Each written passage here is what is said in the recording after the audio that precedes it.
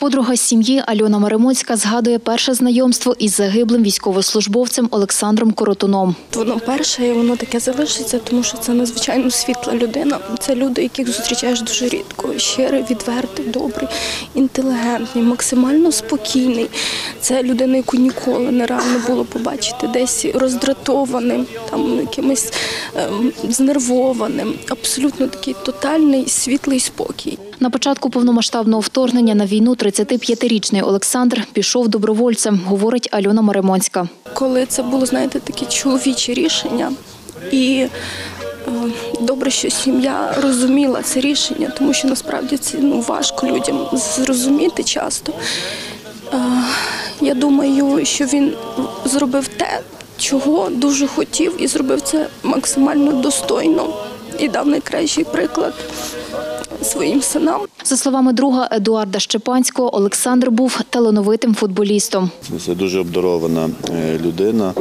Е, Він прийшов до нас в команду з Львівського з Львівських Карпат і одразу він відрізнявся своєю майстерністю на полі, своїми е, нестандартними ходами. Е, Ну, взагалі, це дуже креативна, розумна е, людина, як футболіст, як, як, як людина, як чоловік. Провести Олександра Коротуна в останню путь прийшли його колеги з футбольного клубу Поділля, де з вересня 2021 року загиблий працював дитячим тренером, розповідає головний тренер Віталій Костишин. Запам'ятається для нас дійсно добрим, порядним, прям дуже добра людина, вічлива, спокійна.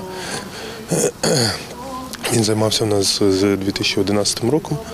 Е, І що саме головне було для дитячого тренера, е, наскільки я знаю, прям дуже ним задоволені були е, діти, батьки, е, його відношенням до дітей.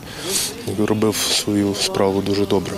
Востаннє попрощатися із своїм тренером прийшли його вихованці. Кажуть, заняття по футболу з Олександром Коротуном були незабутні. Е, Я займаюся футболом е, роки два, і він е, був дуже людиною, яка ніколи не могла підвищити голос.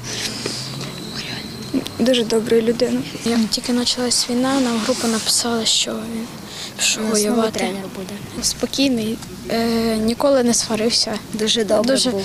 люб, вмів підібрати слово. Не, ну, не любив сваритися. Завжди дос, приймав тре- нових гравців, завжди був радісний. Востаннє на зв'язок із рідними Олександр Коротун виходив минулого року, 25 грудня. Цю дату і вважають датою загибелі. Після міської ритуальної служби похоронний кортеж із загиблим воїном виїхав до стадіону Поділля, де також шанували пам'ять загиблого футбольного тренера та захисника.